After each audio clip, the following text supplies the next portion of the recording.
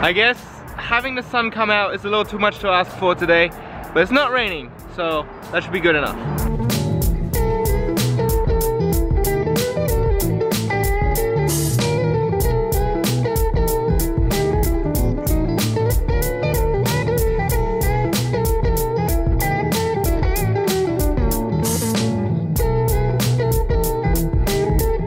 I spotted this parkour spot from a distance and I just feel like I have to play around a little bit.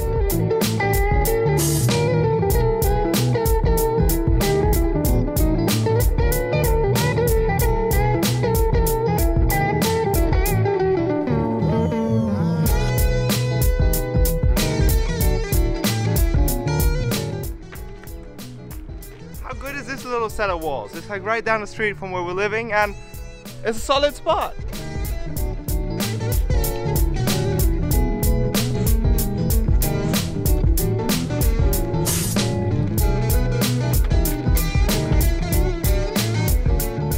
Check in with me quite often, you've definitely heard that my foot is injured and you've heard me say it a million times because it's just dragging on forever and it just won't heal.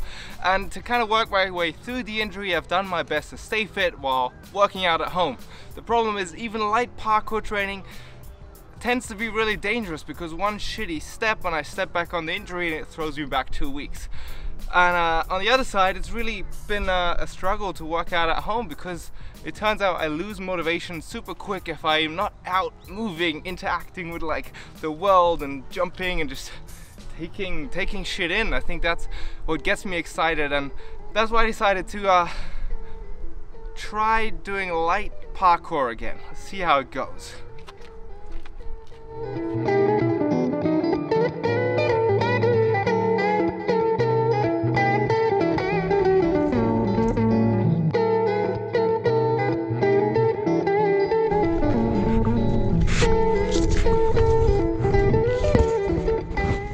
Slipped.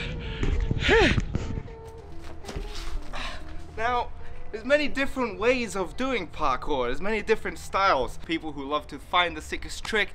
There's people who love to challenge their fear by putting themselves in uncomfortable situations. And there's also, I like to call it the old school Yamakasi style of training, which I used to do a lot. And it's all about just building a strong physical armor. Like your body is meant to be tough and strong, and you do this by going out and doing what is, for lack of a better word, street workout. I'm not talking about calisthenics, even though that can be a part of it. It's just more about looking at your environment in a playful way and finding different, difficult challenges that you can repeat as an exercise. What's on your mind?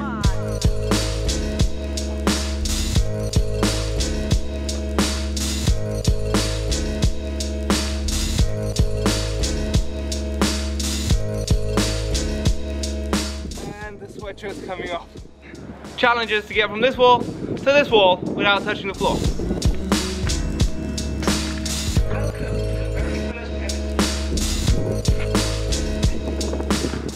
That was more painful than expected.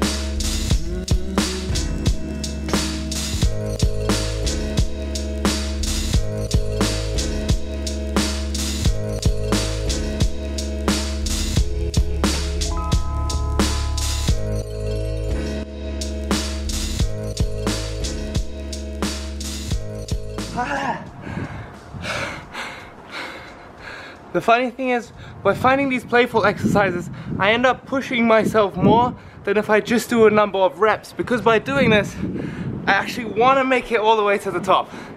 And when I do a number of reps, I don't really emotionally care about getting 12 push-ups instead of 10 push-ups. Who gives a fuck? But here, for some reason I feel like I need to make it all the way.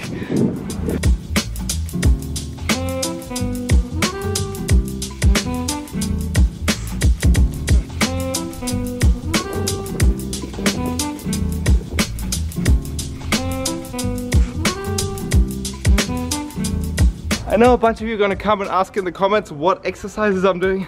To be honest, I'm just making shit up and pretending I'm Karate Kid. And you can try the same.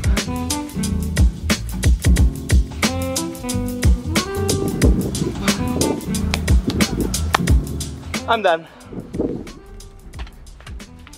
I think this Yamakasi style of parkour training is maybe the ideal mix for my injury right now because I get to play but I also get to exercise and I don't feel forced to push myself too much.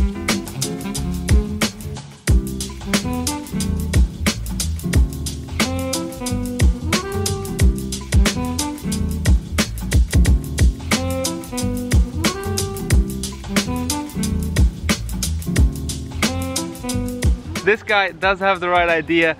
I missed it so much. I'm excited to do more of this. I think I can risk it with my foot. Let's keep going. Ah. Quick side note, this kanji means sake, stands for sake. My Japanese skills are slowly but surely improving.